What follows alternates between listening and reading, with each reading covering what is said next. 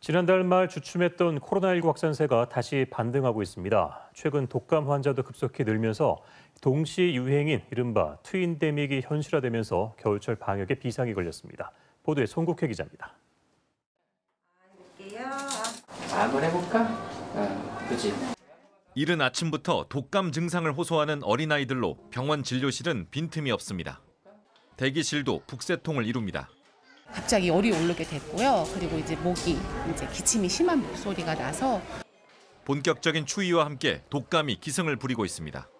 지난주 충북의 외래 환자 1000명당 독감 의심 환자 비율은 8.7명으로 유행 기준인 4.9명을 크게 웃돌았습니다.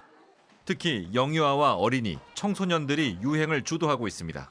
환자 수가 지난주부터 네, 한 1.5배 가까이 이상 많이 늘어, 있- 늘어났습니다. 그 이상의 고열이 있는 애들이 많이 오고 있습니다. 지난달 말 주춤했던 코로나19 재유행도 다시 반등하면서 독감과의 동시 유행이 본격화하고 있습니다. 이달 초 충북의 주간 신규 확진자 수는 1만 3천여 명으로 전주보다 14% 가까이 늘었습니다. 1 아래로 떨어졌던 감염 재생산 지수도 1.1로 다시 올랐습니다. 11월 5주째부터는 소폭의 감소세를 보이고 있습니다.